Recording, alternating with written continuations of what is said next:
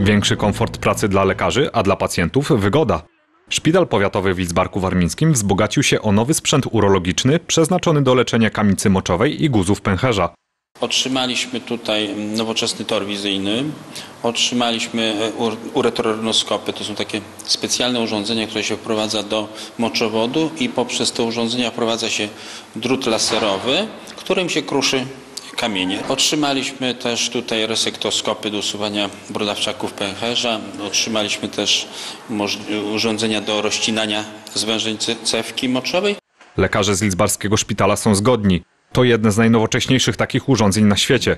Podkreślają, że dzięki rozszerzonemu zakresowi leczenia nie muszą odsyłać pacjentów do innych placówek medycznych. To jest z korzyścią dla pacjentów, którzy nie muszą jeździć, a poza tym mają to blisko domu. Mają blisko domu. To jest bardzo ważne. Możliwość odwiedzenia rodziny, być blisko od domu. Daje to poczucie bezpieczeństwa. No, To jest, uważa- uważam, bardzo cenna inicjatywa. Sprzęt trafił do szpitala dzięki wsparciu Starostwa Powiatowego w Lidzbarku Warmińskim. Pomogły też okoliczne gminy. Każda gmina w przeliczeniu na jednego mieszkańca daje 5 zł, tak? I e, zbierając te pieniądze, że tak powiem, do wspólnego samorządowego woreczka, starostwo powiatowe pomnaża tą pulę jeszcze o kolejne 100%, tak? I takim oto sposobem ponad 400 tysięcy złotych e, wpływa do, e, do wspólnej naszej kasy i z tego też między innymi zakupujemy najpotrzebniejszy sprzęt Jak mówi dr Zbigniew Purpurowicz, nie ma obawy, że sprzęt nie będzie dostatecznie wykorzystywany. Jest bardzo dużo pacjentów. Oczywiście ten sprzęt tutaj w Lidzbargu Warmińskim, e, w szpitalu w, Warmińskim, on jest dedyk- dedykowany w pierwszej kolejności. Ci pacjenci są w pierwszej kolejności przyjmowani z powiatu Lidzbarga Warmińskiego.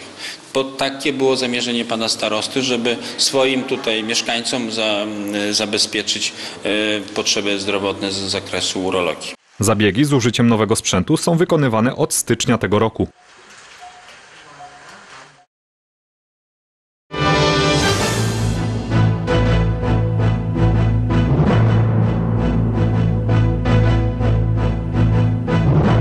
Czytelni dla dorosłych Miejskiej Biblioteki Publicznej w Morągu trwa kurs o finansach w bibliotece.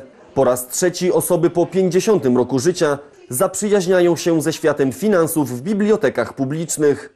Celem tego projektu jest e, przede wszystkim nabycie umiejętności z bankowości elektronicznej przez osoby dorosłe, a szczególnie przez e, seniorów. E, Odbędzie się pięć spotkań kilkugodzinnych, które będą prowadzone na zasadzie warsztatów. Podczas szkoleń uczestnicy dowiedzą się m.in. jak założyć konto, wykonać przelew oraz jak nie dać się oszukać w internecie. jak wybrać najkorzystniejszą ofertę bankową. Ubezpieczenia, ubezpieczenia kredytów na życie, renta dożywotnia czy też odwrócona hipoteka oraz informacje dotyczące banku centralnego i innych banków. W tym roku kurs prowadzony jest na poziomie zaawansowanym. Uczestnicy muszą posiadać podstawowe umiejętności korzystania z komputera i internetu. Wzrosła moja umiejętność posługiwania się w komputerze, na przykład do znalezienia tego, co mi potrzeba.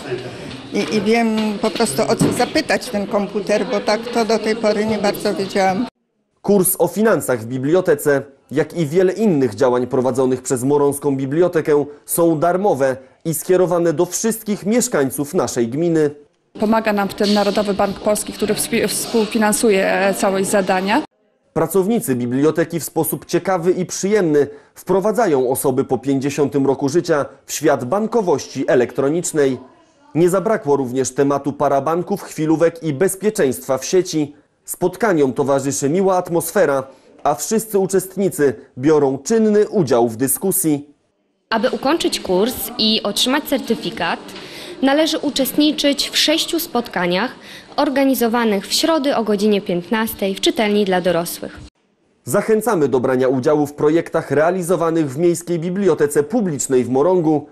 Oferta placówki jest bardzo bogata i przygotowana z myślą o czytelnikach w każdym wieku.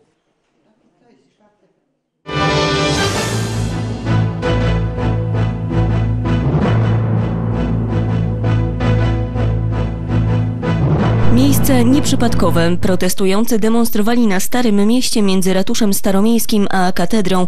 To grupa, która nie zgadza się na zaostrzenie przepisów ustawy antyaborcyjnej. Ta ustawa, która w tej chwili już obowiązuje, jest bardzo restrykcyjna. Bardzo. a jeszcze zaostrzenie tej ustawy, no to spowoduje w ogóle, ja nie wiem, ja uważam, że my nie żyjemy w cywilizowanym kraju w tej chwili. Proszę pani, karać kobiety, że poroniła nawet samoistnie, bo to jest jej wina, to ja tego w ogóle nie jestem w stanie zrozumieć. Ponadto mówię zakaz badań prenatalnych. Ile badań prenatalnych spowodowało, że ratowano dziecko w łonie matki? Wykonywano operacje, czyli ratowano dzieci, a teraz jak nie będzie tych badań, to te dzieci będziemy rzeczywiście zabijać. Wiele krajów ma bardziej restrykcyjne prawo dotyczące tego tematu, więc, więc myślę, że pogłębianie tego jest, jest kompletnie na miejscu w tych czasach. Dla nas tutaj wszystkich e, argumenty są oczywiste. No nie zgadzam się. Mam małą córkę, chciałabym, żeby, e, żeby było coraz jakby kobietom coraz łatwiej, więc e, też dlatego przyszłam. Organizatorzy pikiety podkreślali, że zaostrzenie przepisów na prośbę Kościoła to ograniczenie praw kobiet. Kobieta nie będzie miała e, żadnego prawa mm, dokonania zabiegu, nawet w sytuacji e, zagrażającej jej życiu, e, życiu dziecka.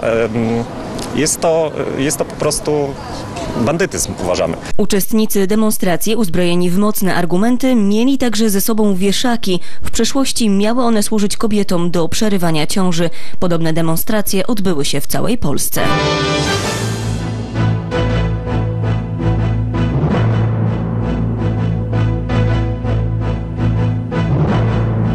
Specjalny ośrodek szkolno-wychowawczy w Szymanowie z małej placówki mieszczącej się w jednym niewielkim pawilonie na przestrzeni ostatnich lat zmienił się w jeden z najlepszych ośrodków w Polsce.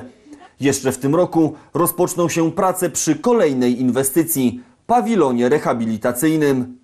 Mogę powiedzieć, że ten pawilon rehabilitacyjny to jest e, obiekt e, o wielkości ponad 500 m2.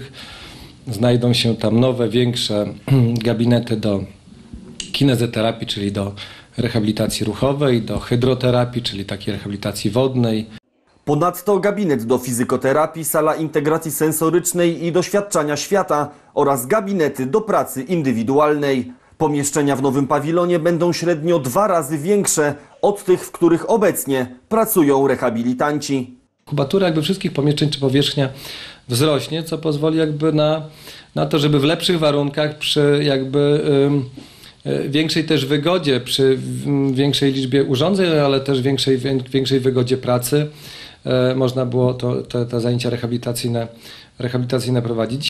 Dzisiaj w jednej sali do kinezyterapii nierzadko ćwiczy kilkunastu uczniów jednocześnie. Nowy pawilon ma stworzyć nowe możliwości. Koszt inwestycji to ponad 2 miliony złotych. do 50% oczekujemy dofinansowania z PEFRON-u.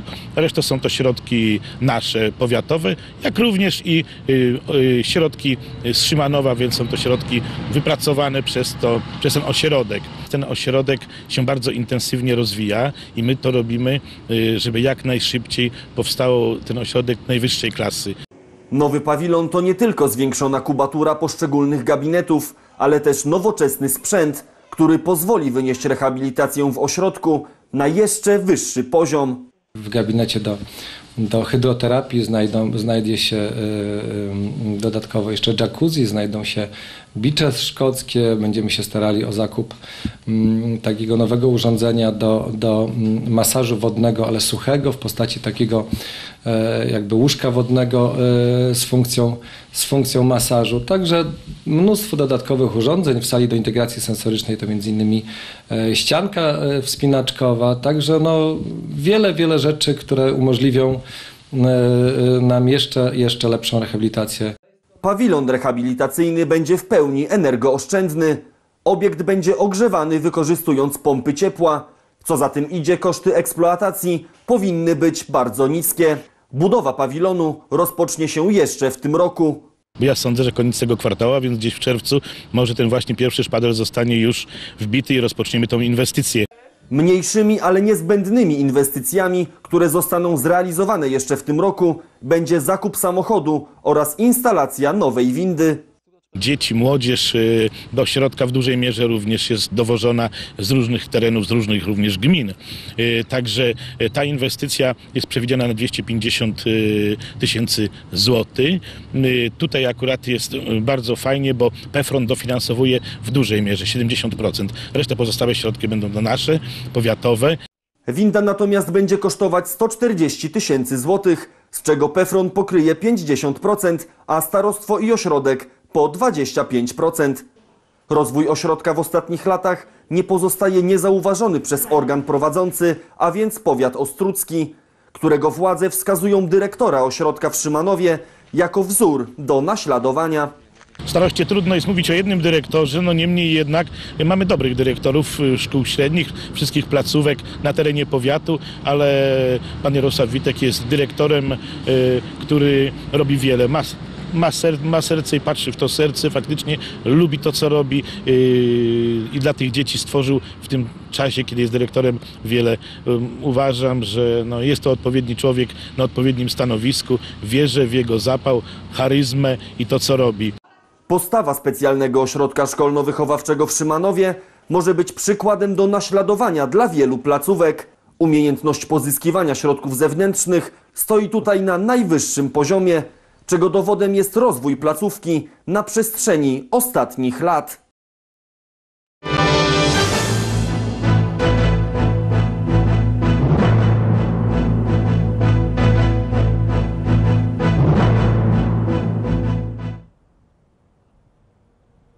14 kwietnia w parku Ferdynanda Gregorowiusa przedstawiciele władz Nidzicy oraz uczniowie zespołu szkół nr 1 wspólnie ze Stowarzyszeniem Zielone Płuca Polski przeprowadzili akcję sadzenia drzew. Na terenie Parku Gregorowiusa odbyło się sadzenie drzew wspólnie z przedstawicielami e, Zielonych Płuc Polski w ramach projektu Life Plus i Drogi do Natury. E, Na terenie e, Parku Gregorowiusa posadziliśmy wspólnie e, 25 sztuk drzew gatunku Jarzą Pospolite. Park Gregorowiusa nie jest jedynym miejscem, w którym zasadzono nowe drzewa.